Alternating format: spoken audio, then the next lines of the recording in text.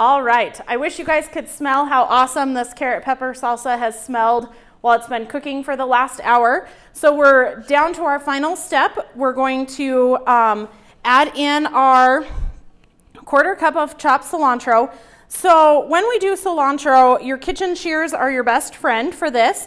Um, so we want just the leaves of our cilantro. So I'm going to kind of just pick through and um, take off our leaves and then I'm going to cut our quarter cup. So the stems of the cilantro is where we're going to get the really bitter cilantro flavor from. So we don't want those stems in our um, really good pepper jelly or in even our salsa or anything that we're using the cilantro for. So you want to be very selective um, when you're doing your cilantro and take out all of those stems. And as you can see, it's so much easier to do it with kitchen shears than it is a knife.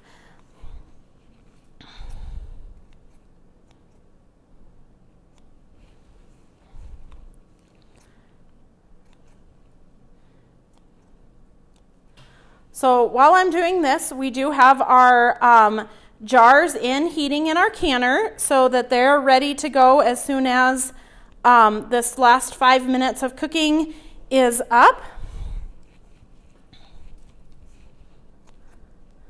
And I think I've got just about enough, so we'll go ahead and with our kitchen shears, um, we're just going to cut it into our quarter cup.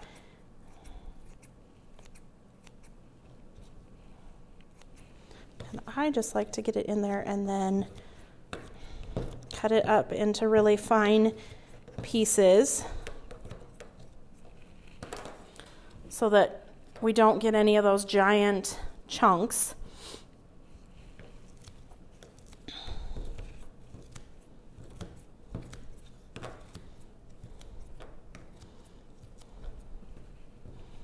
when we were getting ready to start today, um, we've had several people in and out, and they're really curious about the carrot pepper jelly and kind of don't think, or salsa, don't really think of carrots going in salsa. So we're really excited to see how this one turns out. So, as you can see, kitchen shears are definitely the way to handle our cilantro. So as I put this in, um, we're going to bring you guys up so you can see how pretty this is. And again, I wish you guys could smell through the camera because this has smelled absolutely delicious cooking for the last hour. So we're going to go ahead and we're just going to start our timer. And we'll just go ahead and let this cook for five minutes. And then we'll be ready to fill our jars. So while we do that, we're just going to touch really quick on um, our canning supplies that we are going to be using today. So let me just slide my cilantro mess out of the way. And a handy ladle is the first um, tool that comes in really helpful while you're um, doing any kind of canning to get things in the jar. Your wide mouth funnel um, is definitely a huge time saver in having to clean jars and fill jars. Um, so it's a it'll fit in a narrow mouth jar and in a wide mouth, so very important. Your jar lifter so that you can safely get those hot jars in and out of your canning kettle. This is our air bubble remover and our headspace measurement. Um, so it just stair steps up, so a quarter, half, three quarter, and one inch on your headspace. So we'll show you how to um, use that as we get um, into filling our jars.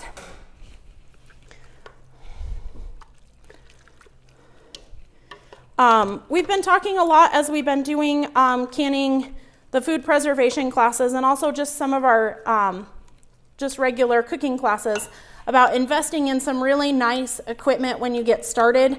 Um, equipment that'll last a lifetime if you treat it right and have bought, purchased, or bought um, quality equipment when you start.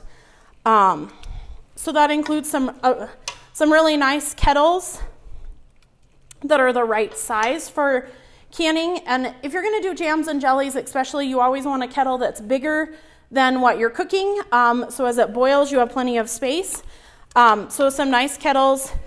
You can purchase everything in like a canning set anywhere that you can buy canning supplies, um, which makes it really nice so that you have that set of everything ready to go. Um,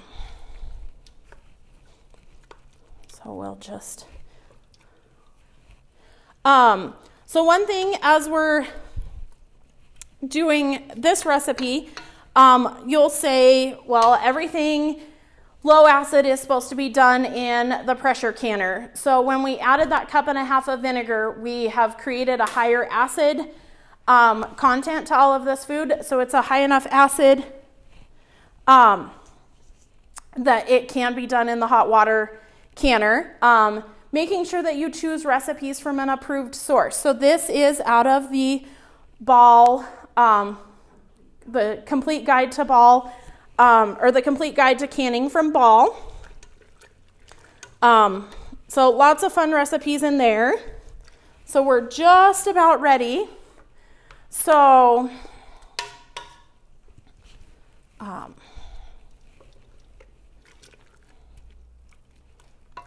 that final stir. And as you guys have, the liquid has really evaporated, and that's why you cook it for so long as you want it to get really nice and thickened. Um,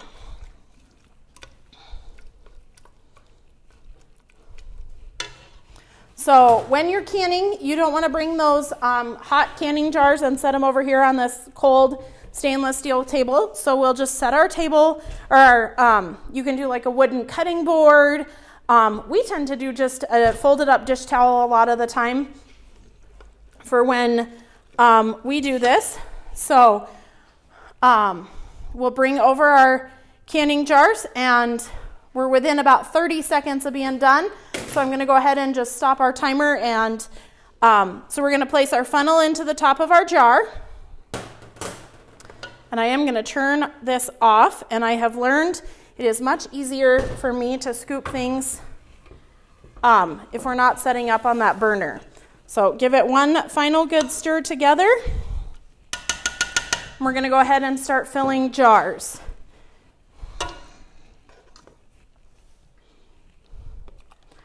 As you can see, this is going to be a really pretty um,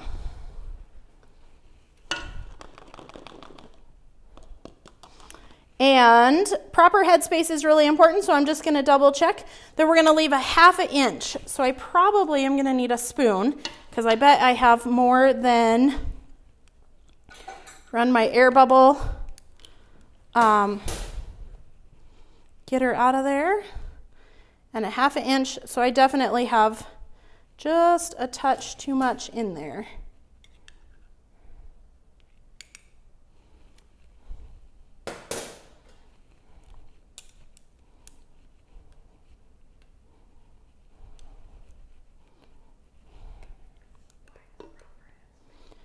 And proper headspace is really important when we're processing. It gives that product room um, to boil while it's processing because we're going to put it in that very hot water. So we're going to call that hurt right on the money.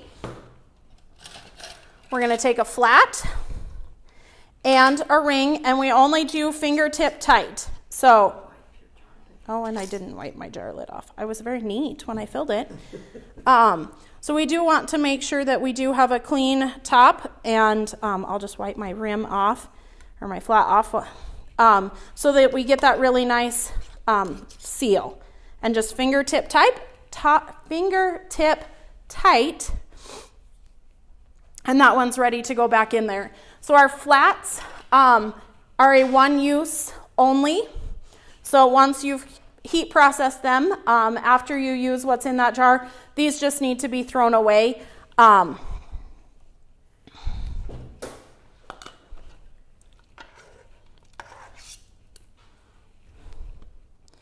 we'll fill this second jar.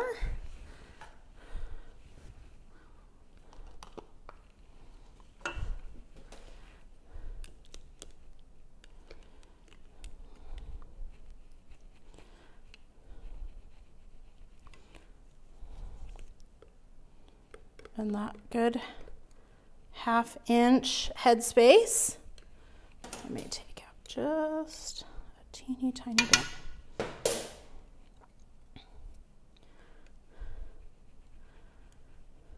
And it's really important when you do food pro- or food preservation that you do follow all of the the steps all the way through the process because you don't want to go all to all this work of chopping all these vegetables, putting everything together and then skipping the step of proper headspace and ruining a bunch of your time and really good product.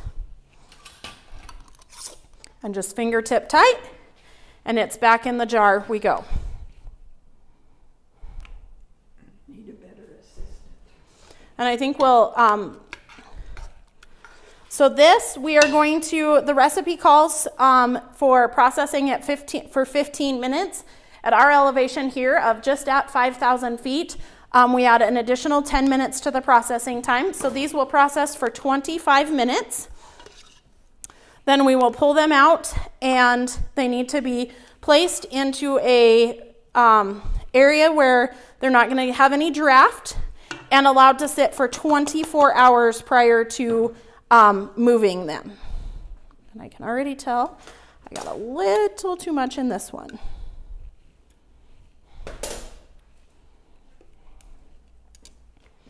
And it is always really important, and this is really chunky, so we do want to make sure we're taking out all of our air bubbles.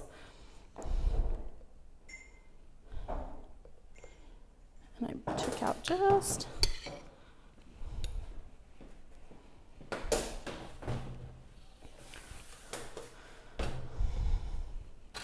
So um, the a great place to um, take them your jars out and store them after they're um, processed is just a cutting board with a towel on top. Um, allow set it away from like the air conditioning vents so that um, they have a nice place to cool for that 24 hours.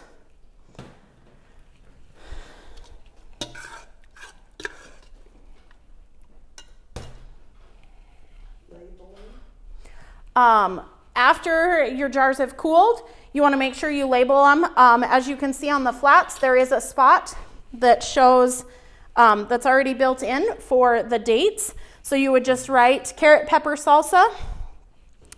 Um, today is 828. And you do want to use all of your home canned product within one calendar or three years. Um,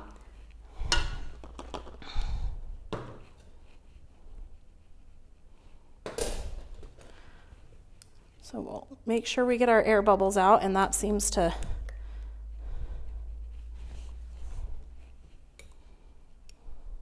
Usually I'm pretty good on my headspace, but today this is so chunky. Perfect. Okay. See, and this is why we work in pairs so that everybody can keep all of us straight of what we're doing. Okay.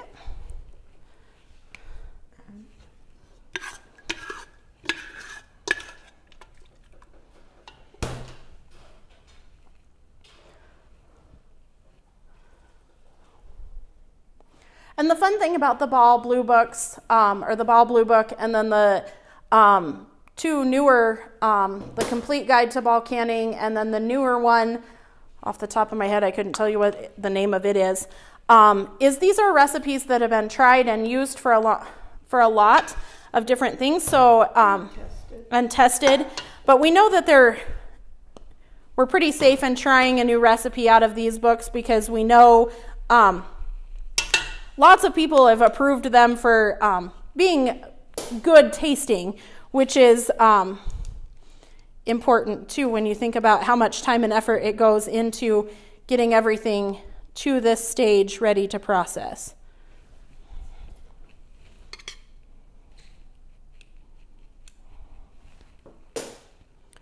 Perfect.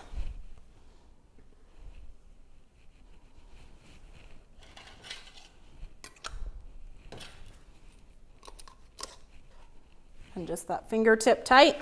And that's about all the tighter you want to do when you're doing it with your bare hands on those hot jars.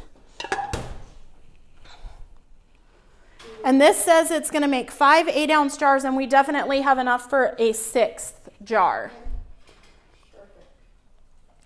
And um, a lot of times when you're canning, you're going to have a little less than it comes out to say, or a little more. Um, and a lot of times it's just on how much water is in your tomatoes or whatever you're canning. And um, there's going to be just enough of this left too to give us a taste test. So um, I'll be okay with that.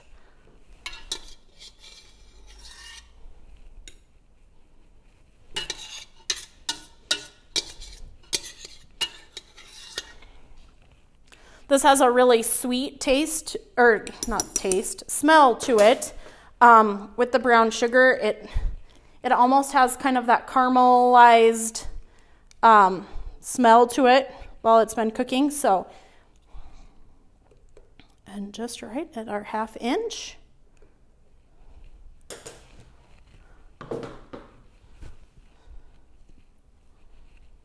And so when we do, when we heat jars and stuff, we always heat one more jar than what the recipe calls for.